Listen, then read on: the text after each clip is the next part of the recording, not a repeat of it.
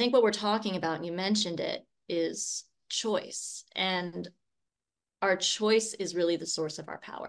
We may never get control, but we do always have choice, and that is our power. Mm-hmm. So when we say that somebody has a piece of our heart, or when we say that we're heartbroken and we can't get over it, what I often find is that what we really mean is somebody took a piece of our power. We mm. gave somebody our power, we gave somebody our choice, we gave somebody kind of, you know, a little bit of our willpower, maybe some things that we didn't agree with, or maybe even we just didn't agree with this breakup, but we had to give over our power and say, okay, you know what, you want this breakup, fine.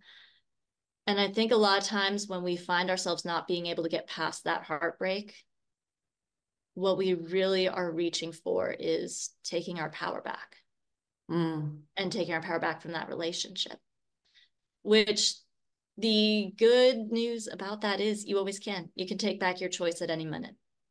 When yeah. you realize that your heart is unlimited, you your heart has this amazing power to love again. Um and it's here's the thing, I'm not going to tell you heartbreak isn't painful. It's shattering.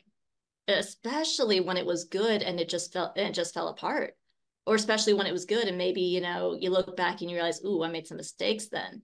Uh, that's another way we try to get our power back and that's another reason why we don't let ourselves get over heartbreak is sometimes we feel as though oh if i could just mm, if i could just redeem myself for that thing.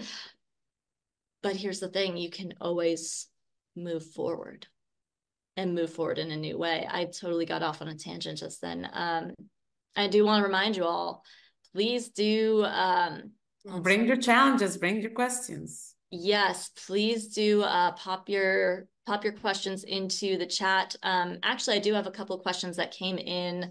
Uh, like I said, I do have a membership called the Catalyst, and that is it's you know again nadine and i just work so well together because her membership focuses on not only the mindset of dating but also the actions of dating getting you coached getting you skills getting you introductions um, and also includes her events. It includes a match at the end of it. If you make it to a certain point within her program, it's just amazing.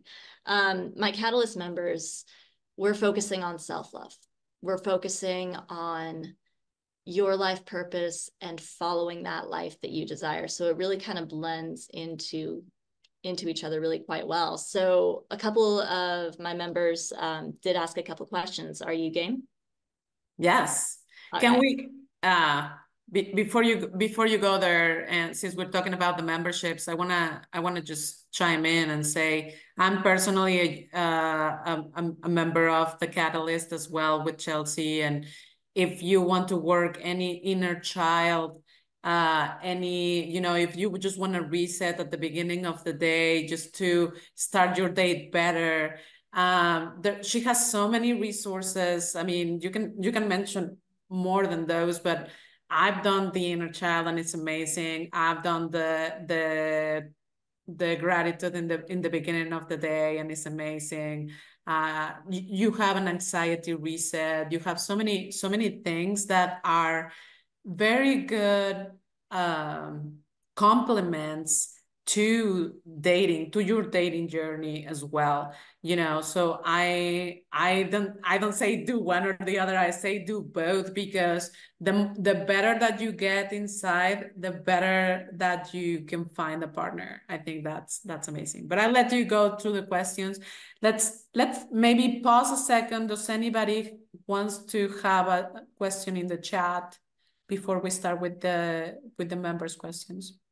Yeah um, and as we're, let me go okay. ahead. We're good. All right. Yeah. I've got my view on speaker because we're recording this. So uh, if you want to check, check in and let me know and see everybody. Um, and yeah, thank you. Um, I'm so glad that those meditations have helped. And um, I think we'll save just a little time at the end. But, um, you know, I do have a little giveaway from that uh, for everyone who attended today. So thank you. Uh, let me go ahead and I've got that chat closed, but I've got that popped up. Uh, so one of them is how do you know if somebody is really trying to find love?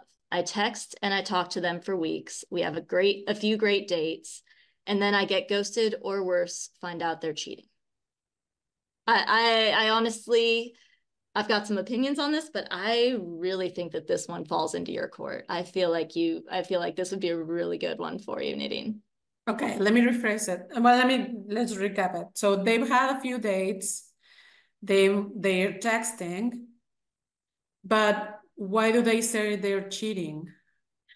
The it it sounds to me so from the question I text and I talk to them for weeks. We have a few great dates. Then I get ghosted, ghosted or worse, find out they're cheating. So I think this is a pattern okay. that they're yes. seeing in their own life. Um, they're not on this call, so uh, they'll get the recording of this later. But um, okay, sounding from the energy of that question, it's sounding like it's a pattern for them. Okay, perfect. Um, and I and I love the question because there there are many things going on there. First of all, if you have not had the exclusivity talk and they are seeing other people, they are not cheating. They are meeting other people because you haven't had that, you haven't established exclusivity.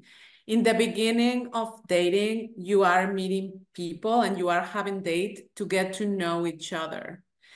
It is not exclusive and it doesn't mean that people are just just going out with you with you. It, it they can be meeting other people. So first of all i think that that person has not gotten enough information and enough communication on their own relationship to know with this person. So and and that's why the the ghosting uh, the ghosting part of it is a lack of communication as well.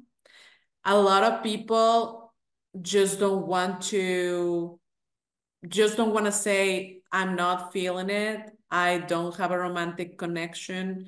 Um, we could be friends. A lot of people don't want to do the rejecting so they ghost.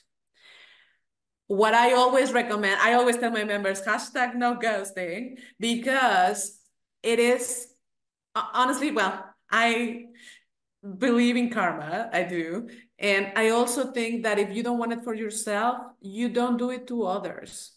So if you are going on two, three dates and you are uncertain on where you stand, you talk about it. You get curious about what's going on and you ask questions. So the people that reason with ghosting is I already texted twice and they're not answering. And sometimes people think that they're being ghosted just after two or three days. When it just means it might mean that that person doesn't like to communicate via text. It might mean that they felt that something you said was rejecting them. It can be so many things. And if we don't explore those things, then we don't know if if if it was us or if it was them, honestly.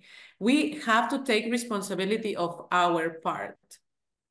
We cannot be saying, we cannot be saying, oh, this is, he ghosted me, he acted like this, or she acted like this, she did this. What we need to think is, how what did I do to grow this relationship? What it, did I do to communicate better, to communicate my needs in terms of communication, to communicate my needs in terms of I'm only seeing one person at a time, to communicate all of these things. So my my best advice in those, those cases is go back, be be brave, and leave your pride on the side and say, hey, I noticed you haven't texted. It could be that you met somebody else. It could be that um, you just weren't feeling it. I love to know just for my own sake. And if they don't answer, and don't be attached to the outcome. If they don't answer, then don't answer. But at least you said what you were thinking and what you were feeling, and you can be proud of that. I I really love that.